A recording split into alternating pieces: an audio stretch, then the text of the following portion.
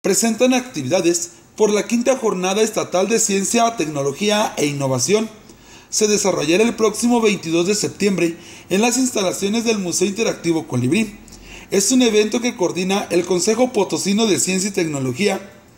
Sobre las acciones a desarrollar y quienes pueden asistir, mencionó la titular del Colibrí, profesora Alma Maldonado, quien dijo se recibe apoyo de la maestra Ernestina García Zamora, titular de Educación Municipal.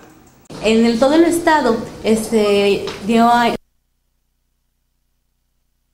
ya, ya estas, estas jornadas en esta ocasión a Río Verde le toca hacerse de la zona media. Eh, estamos teniendo eh, ya la participación de algunas escuelas de Ciudad Fernández, viene una escuela también de San Ciro de Acosta. Eh, las jornadas se van a llevar a cabo de las 8 de la mañana a las 3 de la tarde.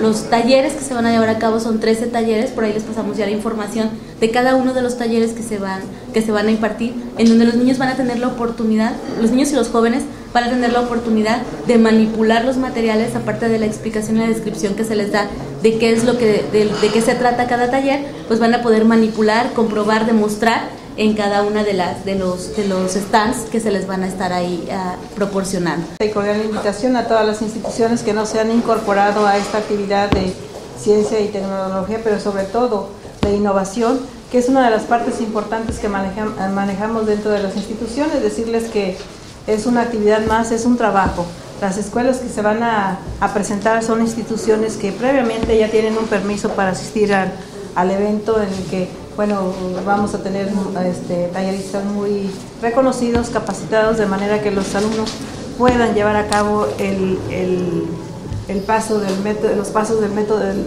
método científico y de esa manera poder este, llevar a cabo una actividad de manera física.